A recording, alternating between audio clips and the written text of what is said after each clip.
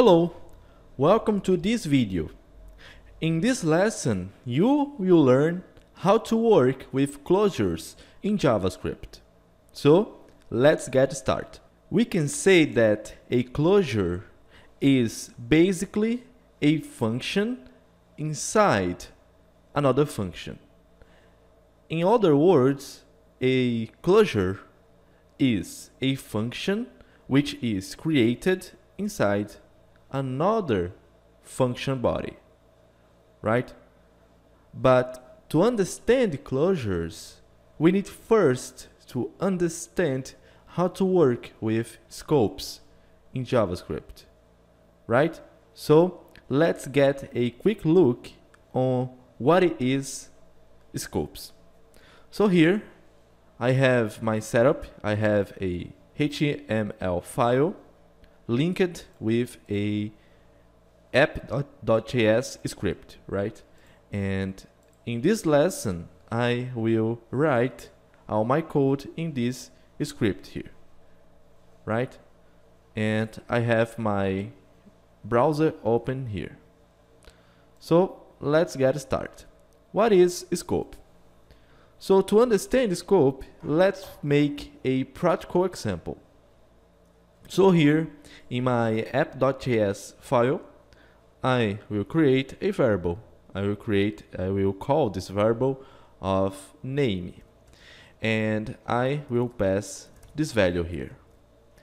Now I will create a function which I will call of say my name. And inside this function, I will make a console.log showing the variable, right? And here, right down below, I will create another console.log showing the variable. Nice. And below this console.log, I will call my say my name function. Now, I will save this file and now let's see what happens here in our in our browser. As you can see here, in my console, I have Victor and Victor. I have two outputs. Why? Simple.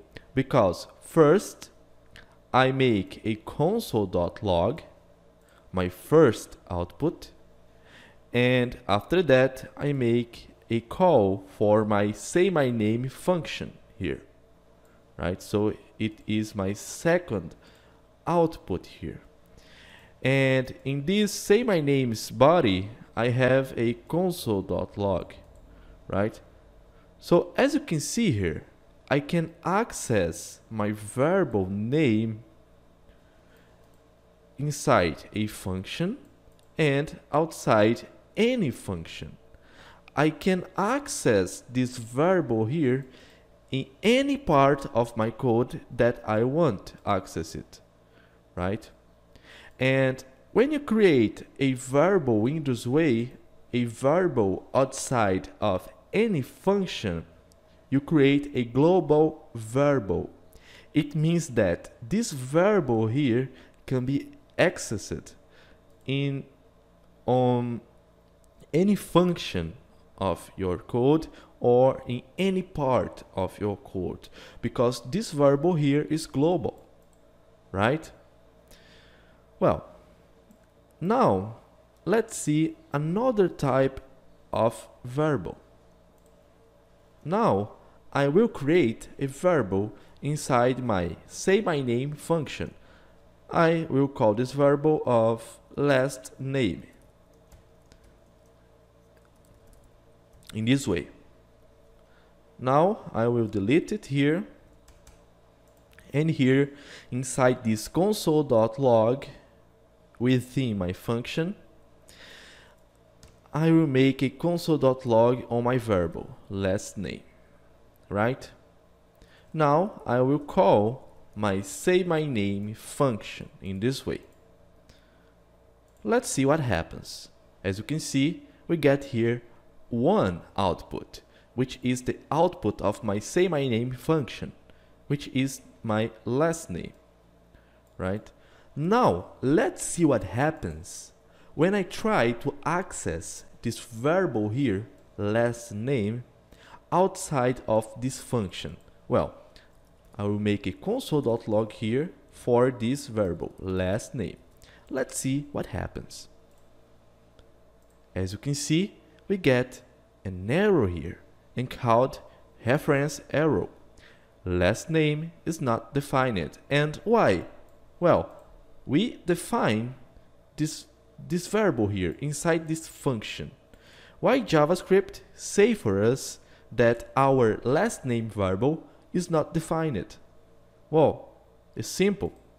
Because when you declare a variable inside a function, only this function here, only the function where you declare the variable can access, can manipulate this variable.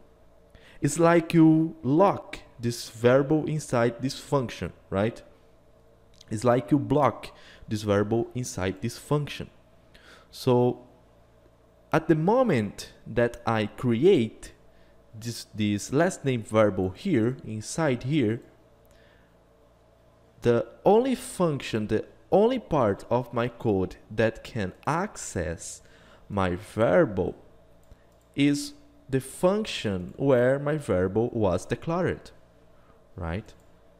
And when I try to access my, my variable last name here outside of my function where it was declared, I got an error because my outside code, the code outside of my function can't see this variable, right?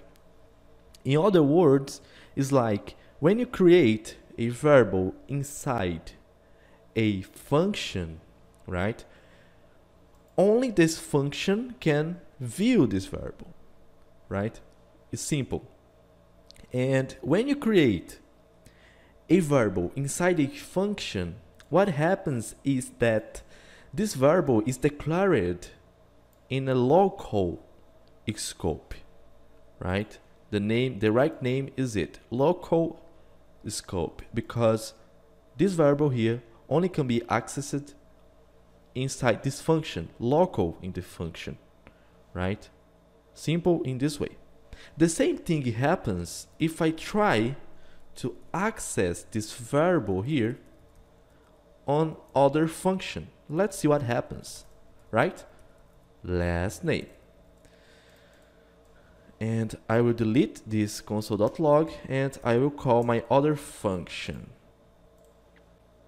as you can see, we get an error here, right? Because it's the same logic.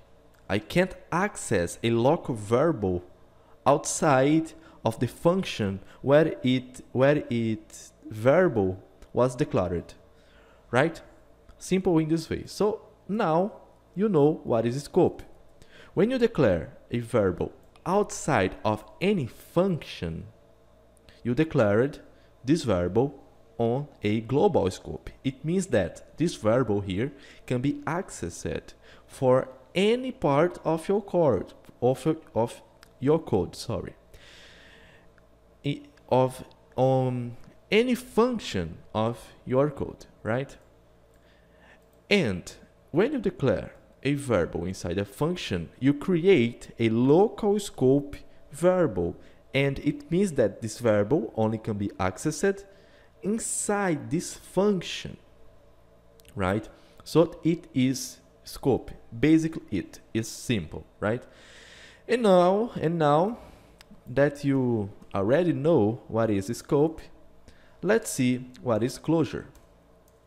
Basically, a closure is a local scope function. It means that a closure is a function declared inside another function, right? And here, inside this say my name function, I can create another function, right? Which I will call of say my last name in this way. And here I can make a console.log last name. Let's see what happens now. I will call my say my name function in this way here. Nice. And let's see. As you can see, nothing happens because I don't do nothing here, right? I do nothing here. So here inside my say my name function, I will call say my last name. Well, so here inside say my name function, I declare say my last name function and right down below inside say my name function, I call this function here, right? So I declare and call in the same function, in the same scope. Let's see what happens now. Don't forget to call the function, right? As you can see, we get, we, we get Lima here, which is the output of this inner function here, this closure here. When you declare a function inside another function, you can call it off closure, right? So this output here is from my closure, say my name. And as you can see, when I declare a function, a closure, a function inside another function, I can access all the variables of the mother function. So here I have say my name, which my which is my mother function, and I have say my last name, which is my closure, which is my son function, my daughter function, right? So if I create a verbal here, another verbal, inside my mother function, I can access it inside my daughter, my son function, right? Simple in this way. The same thing for global variables. Here I have my variable name, which is global, and I can access it inside my closure as well. And when I reload, we get three output from my closure here because I call my closure here inside the say my name function and after that I call my say my name function here. Now let's see what happens if I try to access my closure here outside of my function right? Let's see. Let's see what happens. Say my last name. In this way after I call, I will delete it here. I only will call say my last name and let's see what happens. We get an error here. Say my last name is not defined. Well, why? Simple. It's like local variables, right? When I create a closure, this closure is local inside my main function, right? It's like you lock this this function here inside this function. Is like when you, you when you declare a closure right only the function where this closure was declared can access can manipulate this closure.